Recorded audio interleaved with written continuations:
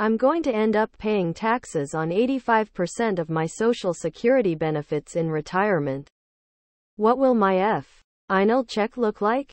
Dot. MarketWatch.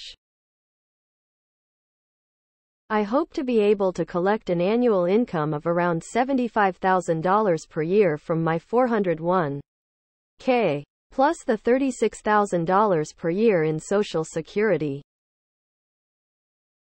Below are your comments. Yes, depending on income, your Social Security benefits are taxed at 50% or 85%.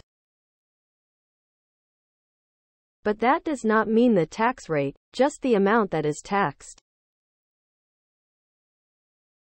It is taxed at your effective tax rate, which for many retirees, if they have done it right, is per APS 10 to 15%.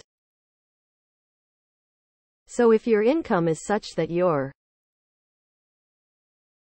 the fact that the person could not figure this out on their own without asking someone is a sad store.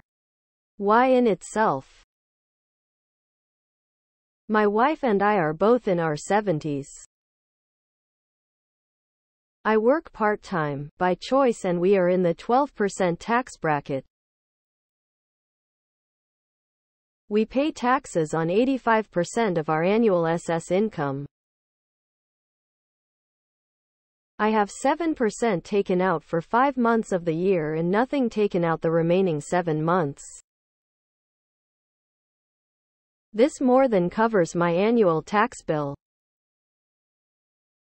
The standard deduction only those that are getting a significant amount of money have a significant tax concern. Doing well financially and taxes go hand in hand. All of that infrastructure out there ain't free. Nothing like paying taxes on your taxes.